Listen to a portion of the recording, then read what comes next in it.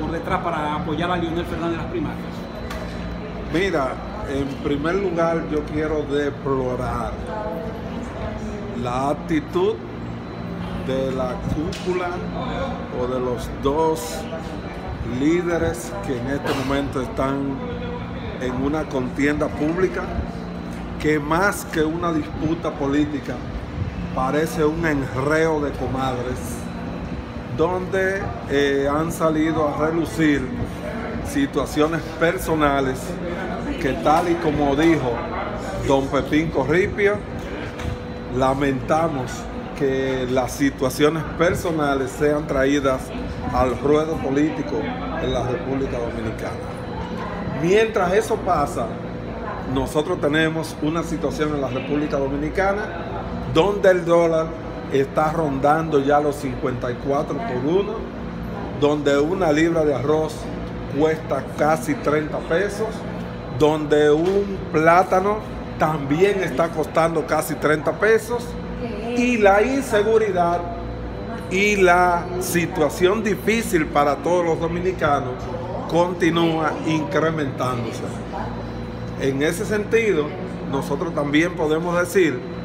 que el Partido Revolucionario Moderno juega y está jugando su papel en este propósito. Y aunque nosotros tenemos a nuestro candidato presidencial ya escogido y valorado por todas las fuerzas PRMistas, el compañero Luis Abinader, que va a ser el próximo presidente de la República Dominicana, indudablemente que en el camino nos encontraremos con todo el que quiera cambio en la República Dominicana. Y aunque nosotros tenemos nuestro candidato presidencial, no se descarta que existan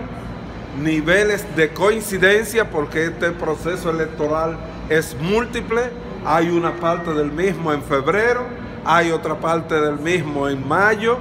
donde se van a escoger otros importantes cargos y entonces nosotros no descartamos que en ese camino de encontrar las voluntades de cambio en la República Dominicana, nos encontremos con actores que también quieran cambio y podamos coincidir en una que otra candidatura. En ese sentido, el PRM está jugando su papel.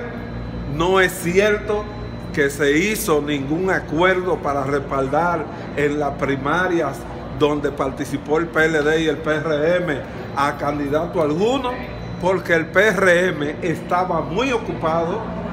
atendiendo sus asuntos para que todo nos saliera como salió, que salió bien. El 30% del electorado PRMista inscrito en el padrón participó en la primaria, mientras que en el PLD solo el 25% participó. Y nosotros estábamos muy ocupados en eso. Yo pienso que el señor presidente de la República necesita estar mejor informado porque incluso habla de una oficina privada del compañero Salvo Batón, donde ese tipo de reunión no se dio, y mucho menos si no se dio la reunión, no se dio el acuerdo. De manera que nosotros lo que entendemos es que el Partido de la Liberación Dominicana y las fuerzas y las fuerzas satélites que en este momento están desarrollando esta polémica inútil que nada trae como solución a los problemas del pueblo dominicano, deben cesar y el pueblo dedicarse a buscar la alternativa de cambio que representa el compañero Luis Abinader y lo que le vamos a acompañar como candidato en los diferentes niveles. tres semanas que aquí no